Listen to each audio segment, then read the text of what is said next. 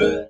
Aqui tem um ouvinte que pergunta, eu acho que não é da sua área, que é da prefeitura, mas de qualquer jeito eu vou fazer a pergunta. Cabral, ele diz, o secretário tem conhecimento do abandono do parque do Abaeté, lagoa cheia de esgoto, invasões no entorno. O parque de Abaeté, ele tem uma sobreposição, então parte é do Estado, parte da prefeitura. E aí eu aproveito e pego o gancho tanto para o parque do Abaeté, como para os demais parques. A gente está num processo dessa apresentação do novo modelo de gestão desses parques. Então, a gente está com um projeto tanto para Baeté, como para São Bartolomeu, como para Pituaçu, e aí a gente quer trazer essa nova vitalidade para os parques, para o zoológico. Então a Baeté, de fato, parte com a gente e a gente está estruturando na área de uso comum ali umas intervenções, tanto na questão das baronesas, da limpeza, como na área do entorno também. Mas está tudo assim. A gente demorou um pouco para poder apresentar nossas propostas, para poder construir uma coisa robusta e que seja de horizonte curto de entrega. Nós temos aí três anos e seis meses, então que a gente dentro disso consiga, se não entregar, dar início.